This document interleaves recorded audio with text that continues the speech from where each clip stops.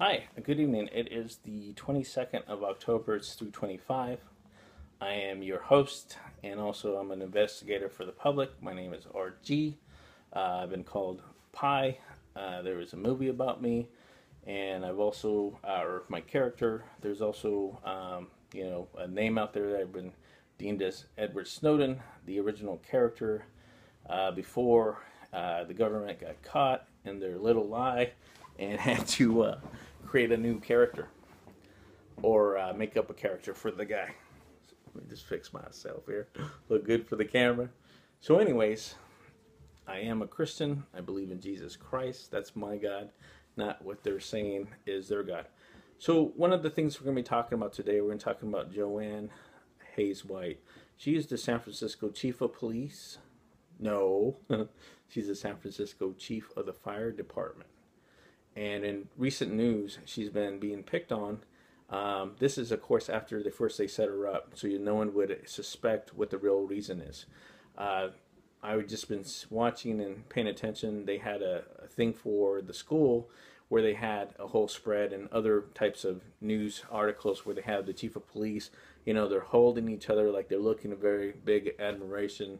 They grew up together, um, and then other figures such as uh, some of the other big time people here, the mayor, the DA, and so forth. And what was really going on is that now that they're trying to, it's coming out in the newspaper, they're trying to throw under the bus. It's really that the uh, mayor is being told by the chief of police and the DA, George Gascon, and the chief of San Francisco chief of police is. Uh, for this area, his name is Greg Suhr, and these guys are part of this Illuminati or this KKK group. They're all the same. It's a secret society that is, uh, you know, trying to control the people and the masses. And so they have trying to remove her, and they're using all kinds of excuses, and they put them in the the uh, the media so no one would suspect. Well, the real culprit here is uh, the chief of police, and I believe he.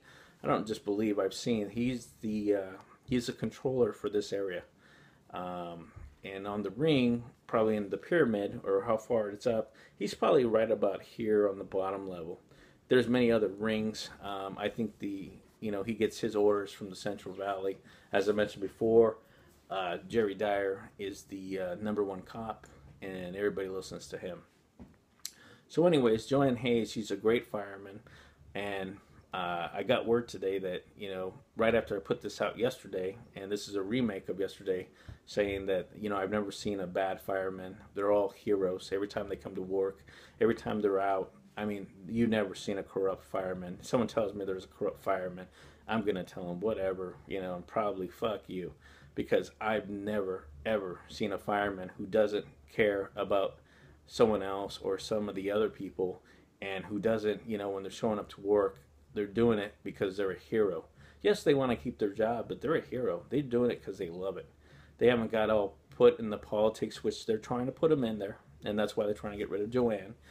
And they care about their fallen brothers in 9/11. The uh, the firemen that were thrown to the wolves by George Bush and his group, and now it seems like Greg Suhr is part of this group, and so is uh, George Gascon. And uh, you know the mayor, they control him, and so I guess he's part of it too now. And you know they care about people, and so you know the success is that we put this out yesterday